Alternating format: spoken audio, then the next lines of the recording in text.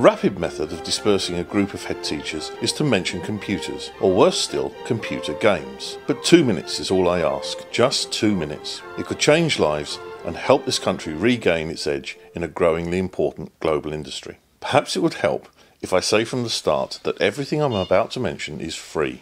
All you see here does not cost a penny. Just download the program from the internet and run it on your own machines. Now I have your attention, let's push my luck a little bit and use the geeky term environment. Here's an environment, a graphical environment, and it's beautifully simple. It's a basic terrain, but we can make it more interesting by raising hills,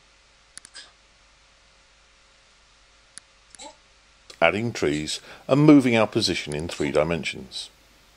Let's drop a few apples around the place. Adjust their size and add a suitably annoying character. Now, the most powerful part programming.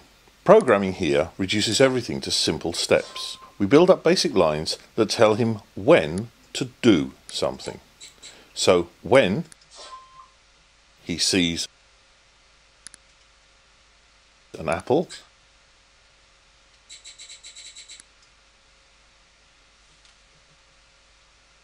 he is to move towards it.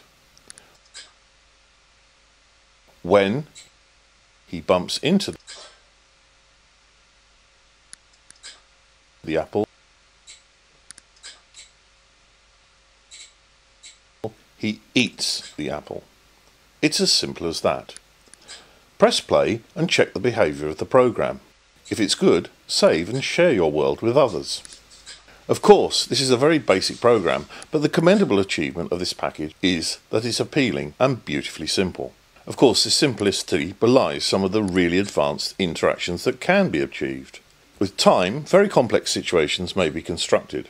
The result of intermixing combinations of events and outcomes are only limited by one's imagination. It's game creation, problem solving, storytelling, and a whole lot more a self-taught teacher can become proficient and confident in the use of the options in just a few days. This programme has benefits for all ages, but as this video is being produced, the BBC are currently filming a sequence where children as young as six are happily generating worlds. Don't write off games as being childish. They now leave non-interactive environments such as film in the shade. Even the Chancellor in this week's budget had to acknowledge how important this seemingly trivial industry is.